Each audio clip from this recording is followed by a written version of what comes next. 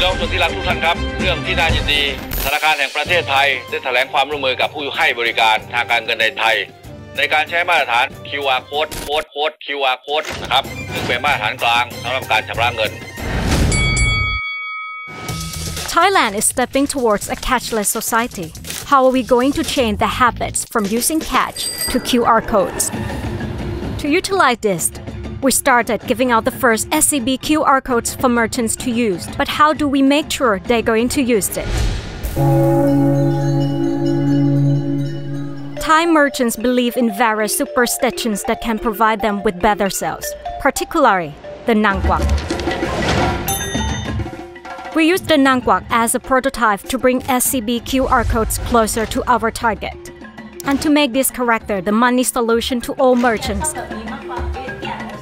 she is called Mae Manee, with all the sign elements linking to modern day trading.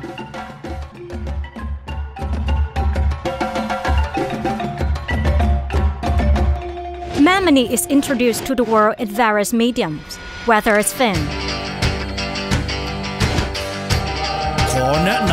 SCB EasyPay Money Solution Spreading to local markets, shops, and shopping areas until we experienced the Mae Manee fever all over Thailand, and she was even auctioned online. More than 1.2 million QR code applications, 1 million transactions within a month. More than 18 billion baht was scanned through Mae Manee in six months. We successfully changed Thai people's habit from using cash to QR codes instead, and Mae Manee has become loved by merchants all over Thailand.